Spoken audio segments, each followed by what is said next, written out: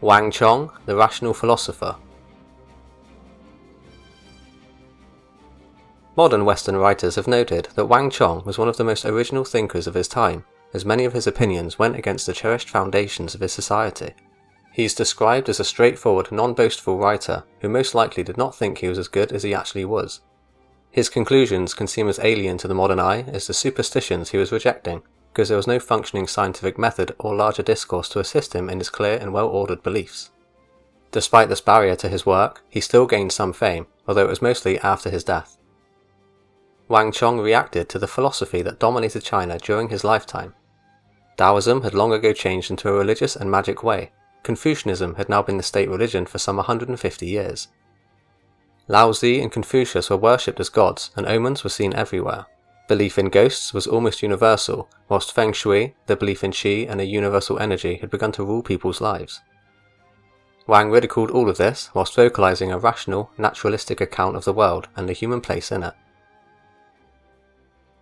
The Han Dynasty is considered a golden age in Chinese history, which has influenced the identity of its civilization ever since. It lasted for over 400 years, but was briefly interrupted by the Xin Dynasty from the years 9 to 23 AD, so its dynastic reign is separated into two periods. The Western Han, which spanned from the year 202 BC to 9 AD, and the Eastern Han, which continued from 25 AD until Cao Pi became the Emperor of Wei in 220. Wang Chong was born back in the year 27 AD, two years into the Eastern Han period. He was an astronomer, meteorologist, naturalist, philosopher, and writer. He developed a rational, naturalistic, and mechanistic account of the world that was neutral towards anything referenced by religion. He accurately described the process of the water cycle and proposed a materialistic explanation for the origin of the universe. His main piece of work, the Lun Heng, meaning critical essays, was the first piece of text to mention the square pallet chain pump. It became commonly used in irrigation and infrastructure thereafter. Many philosophers of the time would consciously choose to live simple lifestyles in order to avoid self indulgent temptations or corruption. This way of living took little to no effort for Wang Chong, for he had no fame, riches, or titles to begin with. He was born into a poor family in Kuaji Commandery as a son to Wang Song. He was admired within his local community for his love and devotion towards his father, he was said to have studied by standing at bookstalls and had a superb memory, which allowed him to become very well versed in the Chinese classics. He eventually reached the rank of a district secretary, but soon lost the post due to his combative and anti authoritarian nature. Under the direction of his parents, he travelled to Luoyang to study at the Imperial University. It was here that he became acquainted with the prestigious historian Ban Biao, who commenced the work on the Book of Han, then also his son, who continued his father's work. It was at this time that Wang Chong lacked enough money to purchase proper texts, so had frequent bookshops to acquire knowledge. Rafe de Crespigny states he was most likely heavily influenced by writers of his time such as Huan Tan, who believed that harsher legalist punishments were needed. Huan Tan's first writing drew up a text which describes the trip hammer, a hydraulically powered device which was used to crush up grain.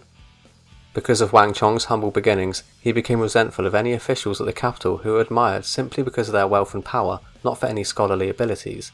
He returned to his home commandery, where he became a local teacher and was soon elevated to an officer of merit. He ended up resigning from this position due to his critical and quarrelsome nature, then entered a period of isolated retirement where he wrote many essays on common morality, on severe disapprovals, on government, and on organic whole foods, were some of his works, of which around 80 were later compiled together by Wang Chong. At the centre of his school of thought was the denial that the heavens have any purpose for us, whether it be benevolent or hostile. To say that heaven provides us food and clothing is to say it acts as our farmer or tailor, an obvious absurdity. Humans are insignificant specks in the universe and cannot hope to effect changes in it. It's ludicrous arrogance to think the universe would change itself for us. He emphasized on the need to judge the words of previous sages critically because they were often contradictory or inconsistent. He criticized not only the scholars of his time for not accepting this, but also the widespread popular acceptance of the ancient writings. He did, however, believe that the truth could be discovered and would even become obvious after analysing it thoroughly and commenting on the text until the words become clear. He argued that thunder must be caused by fire or heat and is not a sign of the heavens being displeased.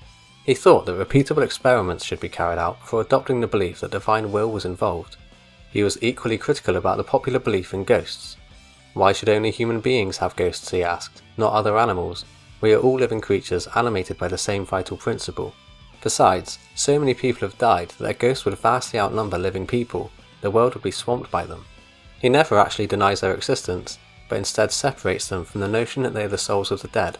He seems to believe the phenomena exist, but whatever they may be, they have no relation to the deceased. He wrote in the Lu Liuqiang, People say that spirits are the souls of dead men. That being the case, spirits should always appear naked, for surely it's not contended that clothes have souls as well as men.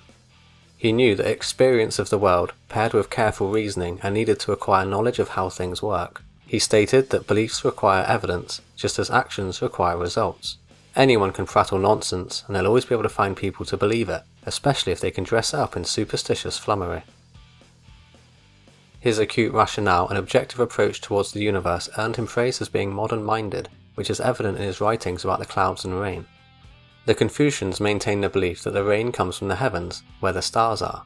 However, my consideration of the subject shows us that the rain comes from above earth, but not down from heaven. We see that rain gathers from above, so admittedly it comes from above the earth. How can we demonstrate that the rain originates in the earth and rises from the mountains? He cited a commentary on the Spring and Autumn Annals which says, It evaporates upwards through one or two inches thick and then gathers. In a day's time, it can spread over the whole of the empire, but only if it comes from the Tai Shan. Wang believed this text meant that from Mount Tai, rain clouds can spread all over the empire, but from smaller mountains it will only reach a single province. The distance depends on the height. He stated, As to this coming of rain from the mountains, some people hold the thought that the clouds carry the rain with them, dispersing it as it goes, and they are right. Clouds and rain really are the same thing. Water goes upwards, then becomes clouds, which turns into rain or further into dew, when the garments of those travelling on high passes are moistened, it's not the effect of the clouds and mists they walk through, but the suspended rainwater within. When the moon follows the stars, there will be wind and rain. The approach of the moon will bring heavier rain showers. These two passages of the classics lead to the common belief that heaven itself causes the rain. What are we to say to this?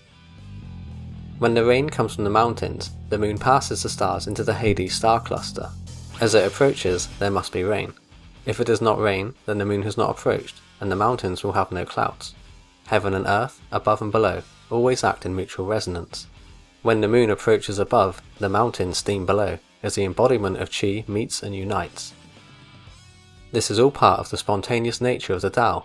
Clouds and fog show that rain is coming. In summer, it turns to dew. In winter, to frost.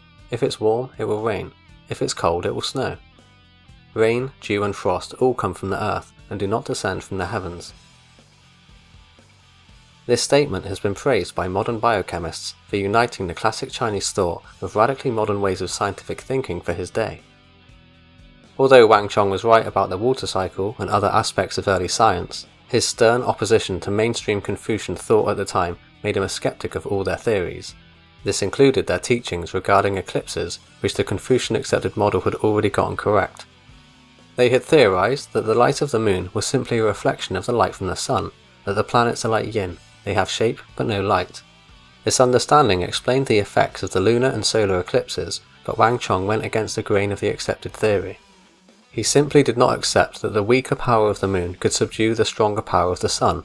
He also didn't accept that these celestial bodies were completely round, but he simply had no knowledge of how gravity naturally forms large spherical bodies in space.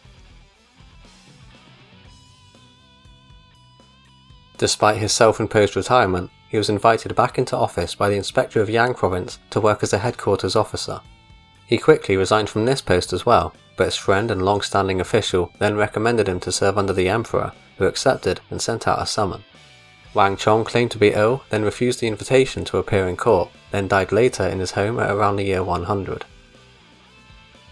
Although Wang Chong's rationalistic criticism of the so-called New Text Confucianism was largely ignored during his lifetime, de Crespigny states it became much more influential in Chinese thought in later years. The prominent scholar Cai Yong wrote about his admiration towards Wang's work, whilst Wang Ling acquired a copy of the Lun Heng in 198 and brought it with him on his trip to the new Han court established by Cao Cao at Xuchang. As a result of Wang Ling's presentation, some of the questionable tenets of the New Text Confucianism were debated out of popularity and then fell out of use altogether. If you enjoyed this video, don't forget to hit that like and subscribe button and I'll see you next time.